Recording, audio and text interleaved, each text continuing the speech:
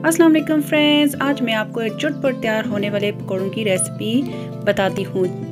तो फ्रेंड्स, आपने क्या करना है? आलू ले लें, प्याज टमाटर, स्वीट कॉर्न, शिमला मिर्च, हरा प्याज, जो कुछ भी आपके पास है, जब पाँच दफ़ा मेहमान हमारे घर में आ जाते हैं तो हम जल्दी जल्दी ये डिश तैयार कर सकते हैं, ये पकोड़े जल्दी से तैयार कर सकते हैं। तो फ्रेंड्स, लीमू को लेना भी ना भूलिएगा। तो हमने क्या करना है, ये सब चीज़ों को काट के हम अब एक बोल में डालेंगे और ऊपर से अच्छा सा लीमू जो है वो हम उसको निचोड़ लेंगे।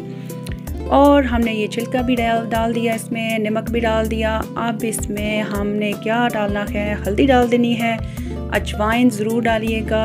अजवाइन से बहुत मज़े का टेस्ट आता है। अब हम इसमें बेसन डालेंगे और थोड़ा सा चिली पाउडर भी ज़रूर डाल देंगे। फ्रेंड्स थोड़ा सा पानी लेके इसको अच्छे से मिक्स कर लीजिएगा। फ्रेंड्स याद रखिएगा कि ज़्यादा बेसन नहीं डालना। जब ज़्यादा बेसन डालते हैं तो ये सख्त पकोड़े हो जाते हैं। सूखा धनिया हम भूल गए थे तो अब हमने डाल दिया है। अब हम अपने पकौड़ों को तैयार करेंगे।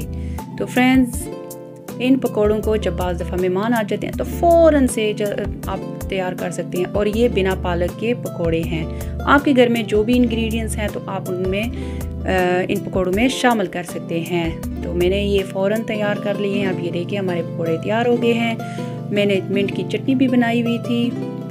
फ्रेश लेमन उसमें डाला हुआ था और ये साथ में मैंने सलाद भी काट लिया तो आप बहुत ही मज़े के लग रहे हैं। तो फ्रेंड्स, आप भी ये ज़रूर रेसिपी ट्राई कीजिएगा और मुझे कमेंट में ज़रूर बताइएगा। मेरे चैनल को लाइक और शेयर ज़रूर कीजिएगा